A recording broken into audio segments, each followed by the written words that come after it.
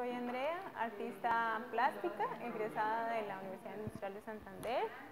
Eh, hoy estábamos aquí compartiendo un espacio para, para compartir mi proceso como parte de, la, de los requisitos para la eh, sustentación de mi proyecto de la maestría eh, de la Universidad Federal de Ceará en Brasil.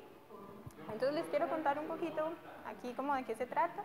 Yo investigué alrededor de la relación plástica y poética eh, simbólica entre la tela y la piel eh, y, también hice un acercamiento a un grupo de, artesanas de Fortaleza para conocer un poco como, sus labores, para apropiarme del trabajo de ellas y llevarlo a la creación artística. Eh, eso derivó en una serie de trabajos en donde yo exploro esa relación, piel y tela, y la relación de contacto.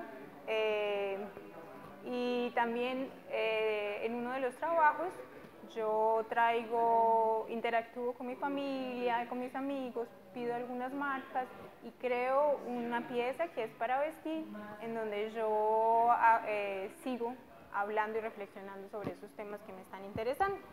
Aquí en la mesa tengo tres cosas, voy a hablar de ellas un poquito. El texto, que fue parte como del requisito también para, para la investigación, todo se condensa aquí.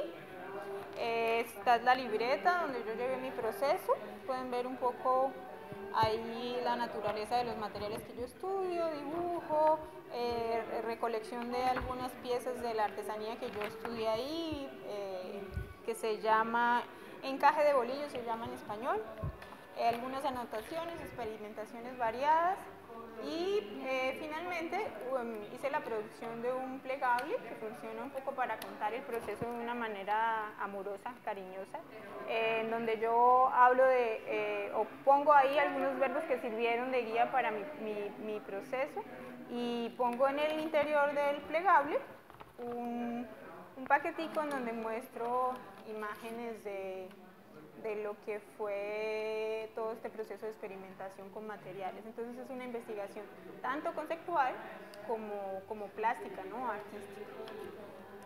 Em, ya, muchas gracias.